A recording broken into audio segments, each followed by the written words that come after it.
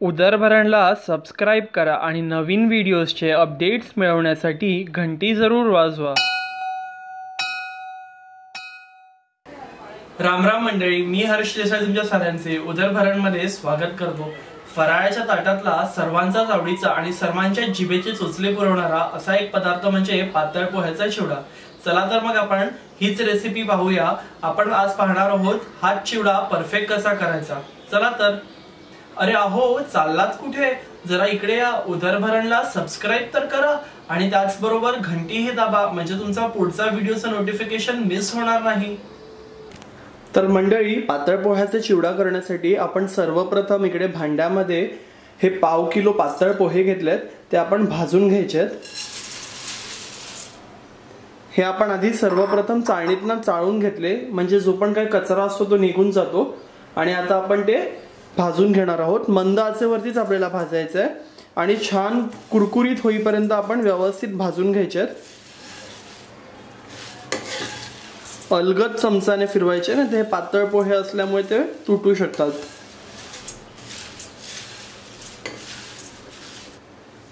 तर मंडळी आपले हे पोहे छानपैकी भाजून झालेले आहेत. तुम्ही बघू शकता छान असा कुरकुर आवाज येतोय. मस्तपैकी कुरकुरीतही झाल्यात बघा आपले पोहे. आता आपण हे भांड्यातच ठेवून देणार आहोत आणि एका साईडला घेणार आहोत. आणि बाकीचं आपण जे तळणीचे पदार्थ तळून घ्यायचे ते सगळं आता आपण तळून घेऊया. तर मंडळी आपल्या इकडे तेल चांगलं तापलेलं आहे. आता यात आपण सगळे जिन्नस तळून घेणार आहोत. आपण इकडे सुक खोबऱ्याची एक कवड असते तिला बारीक स्लायसेस करून घेतले ते आता आपण या तेलामध्ये छान तळून घ्यायचंय. लालसर रंगावर. मीडियम फ्लेम ठेवायचा तेलाची. छानपैकी आपण हे तळून घ्यायचंय. आपले हे खोबऱ्याचे काप छान लालसर रंगावर तळून झाले आहेत. ते आता आपण काढून घ्यायचे आहेत. आपण हे त्या भाजलेल्या पोह्यांच्या वरतीच टाकून घेणार आहोत.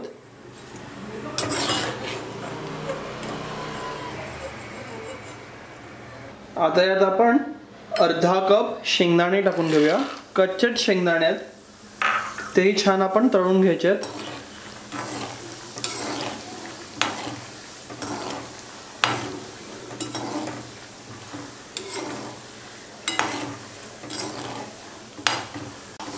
आपले शेंगदाणे देखील छानपैकी तळून झाले आहेत हेही आता आपण चिवड्यामध्ये काढून घेऊया. आता या तेलामध्ये आपण वन फोर्थ कप डाळ्या घेतले होते.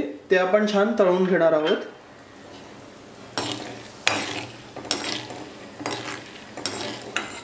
ह्याचा एक मस्त फ्लेवर येतो. आणि इकडे मी सगळं मापनं तुम्हाला मी पाव किलो पोहे घेतलेत. त्या पद्धतीने दाखवतोय. तुम्हाला जर जास्ती प्रमाणात हा चिवडा करायचा असेल तर तुम्ही हे सगळे जिन्नस चा माप वाढवून घेऊ शकतात. आपले हे डाळी ही छानपैकी तळून झाले आहेत. आपण ते काढून घेऊया. आता याच तेलामध्ये आपण काजू तळून घेऊया. आपण इकडे बारा ते तेरा काजू घेतलेत. एका काजूचे दोन तुकडे करून घ्यायचे छानपैकी हे काजू तळून घेऊया. हे काजू आपले छानपैकी तळून झाले आहेत. त्यात आपण काढून घेऊया.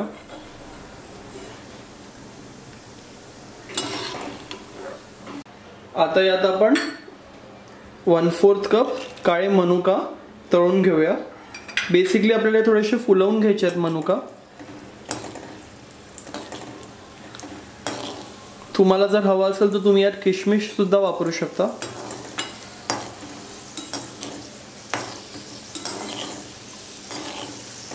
आपल्या मनुका इकडे फुलायला लागल्या छानपैकी.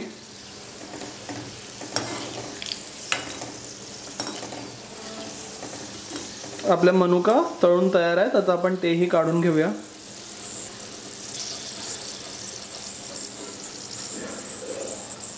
तर मंडळी आपण हे जे सगळे तळून घेतलेले पदार्थ आहेत ते या पोह्यामध्ये थोडेसे मिक्स करून घ्यायचे आहेत.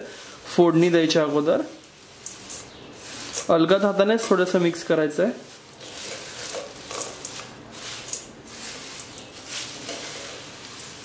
आता आपण यावर फोडणी टाकून घेऊया. तर मंडळी आपण ना तेच तेल घेतलंय ज्या तेलामध्ये आपण सगळं तळून घेतलं होतं पण त्यातलं थोडंसं तेल जास्ती होतं म्हणून थोडंसं तेल आपण काढून घेतलं आहे. टोटल आपल्याला एक कप तेल लागलंय पाव किलो पोह्यासाठी. यात सर्वप्रथम ना आपण पंचवीस ते तीस कढीपत्त्याची पानं टाकत आहोत तेलामध्ये.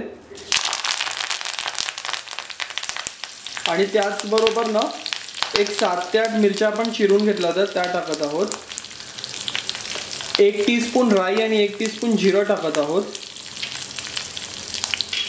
आपण इकडे एक टेबलस्पून धणे एक टेबलस्पून तीळ आणि एक टेबलस्पून बडीशेप घेतली आहे. तीही टाकून घेऊया. आणि हे थोडं व्यवस्थित होऊ द्यायचं आहे थोडंसं मिक्स करून घ्यायचं आहे मिरची आणि कढीपत्ता छान कुरकुरीत झाली पाहिजे. तुम्हाला जर हवं असेल ना तर तुम्ही काय करू शकता? मिरची आणि थोडंसं जिरं. हे मिक्सरमध्ये वाटून घ्यायचं जाडसर असं भरड करून घ्यायची आणि मग ते यात टाकायचं. त्याचा सुद्धा स्वाद एकदम सुंदर लागतो. फोडणी एकदम छानपैकी आपली झाली पाहिजे.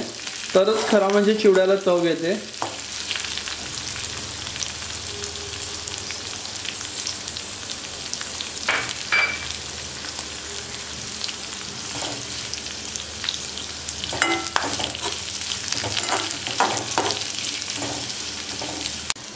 आता या फोडणीमध्ये आपण हळद टाकून घेऊया. आपण इकडे दोन टीस्पून हळद वापरली आहे हळद व्यवस्थित टाकायचं आहे म्हणजे कलर आपल्या चिवड्याला छान येतो. आणि थोडंसं हिंग टाकायचं आपण. हिंग शेवटी टाकायचं नाही तर मग ते करपून जाते. आता पुन्हा हे आपण सगळं व्यवस्थितपणे मिक्स करून घेणार आहोत.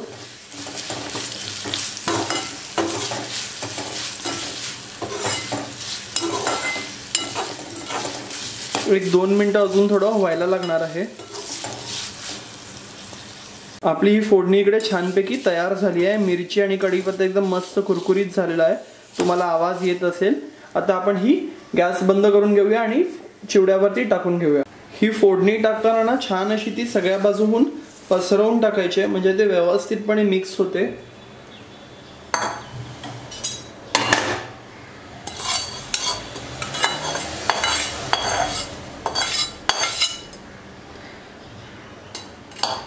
यात आपण दोन टेबल स्पून पिठी साखर टाकणार आहोत. पिठी साखरमुळे छान अशी चव येते. थोडासा गोडसर तिखट मस्त असा चिवडा होतो आपला. आपण यात स्वादानुसार मीठ टाकणार आहोत.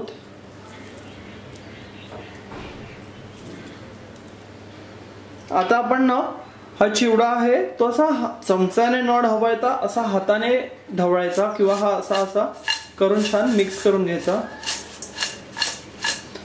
म्हणजे पोहे आपले मोडत नाही किंवा जर तुम्हाला हवं असेल तर तुम्ही अलगत हाताने सुद्धा तो छानपैकी असा मिक्स करून घेऊ शकतात.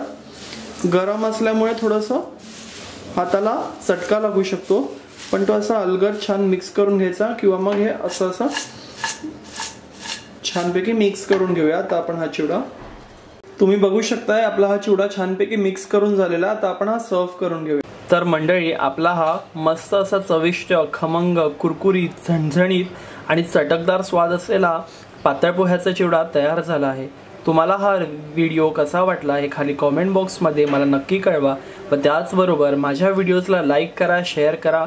आणि उदरभरणला सबस्क्राईब करा. त्याचबरोबर असेच काही नवनवीन आणि पारंपरिक पदार्थ जरूर पाहत राहा फक्त उदरभरणवर